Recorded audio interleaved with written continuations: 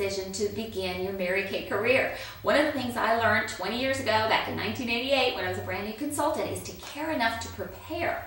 That's the most important thing before you go to a skincare class that you care enough to prepare and everything is ready to go so that you won't be frustrated.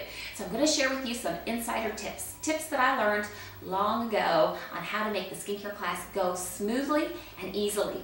So here's the first thing. Make sure that you have a lookbook for each of the guests. Make sure that you've got one of those to the right hand side of their tray. On the inside, when you're packing your bag for your skincare class, make sure that you've got a sales ticket in there and also that you've got a profile card so that they can fill this out if you haven't already done that before going to the actual skincare class. Of course, it's preferable that you do it before the skincare class. So make sure you've got one of these packed for each guest. Make sure that you have a couple extra just in case you have a couple of extra uh, gals that show up, which is always exciting. Now, as far as getting everything together for the tray, it's so important that you have everything together in this fabulous lock baggie here. And inside you're going to find the tray, of course. This is what you get from the company. You'll get this though without the tray um, already on it. So you'll want to go ahead and you'll want to slide the tray onto it, the styrofoam tray. Then this is one of the disposable washcloths. It's important that you've got one of those in there. Take that and put that aside. And then go ahead and stand up your tray. And this is how it's going to look in front of your client It's going to stand in front of her like that and make sure that she knows that she can move this um, mirror out of here if she needs to get a closer look. Now what I've chosen to do all my career is to pre-select a look. Pre-select a look for the guest.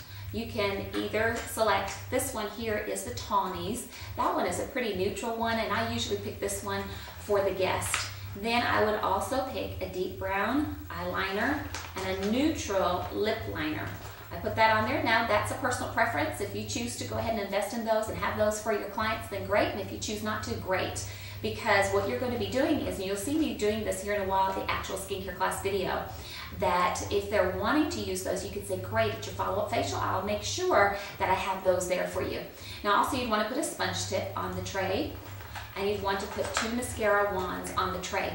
Typically, a client will want to have another application of mascara. You cannot re-dip back into the mascara bottle because that will create, um, in fact, it can create, I should say, an infection uh, for the eye, especially if you're dipping in from somebody actually applying on their eyes. They call that, well actually there are little mites that live on your little lashes. So we call that mixing mites. So you don't want to be doing that because that can create a lot of eye problems for your client. So it's always best to be sanitary, give them an extra wand so that there's no problems with that. Now also with the washcloths, uh, what I have done all these years is gone ahead and took a baggie, wet down the washcloths, and go ahead and put those in the microwave and make sure that you get those nice and warm. And then you can go ahead and put those into just a little thermal bag that you, you send the kids off to school with. Just stick those down in there, and then that way you've got everything ready. So when you get to the skincare class, it's so much easier to go ahead and set everything out so that everything's ready to rock and roll. Now put these, the little bag, the little zip bag, put that in a safe spot and around the skincare class area so that you can pack those up easily or have your hostess do that for you while you're talking to your clients individually. So I hope that helped you because when I was a brand new consultant and I did not do this and did not care enough to prepare, I typically would leave the styrofoam insert at home or the mascara wands or the sponge tips. So it's so much better to do that at night, the night before your skincare class. And pack those, get those in your car, and just get those little things done because it's the brain, sand, and the shoe that stops making traffic.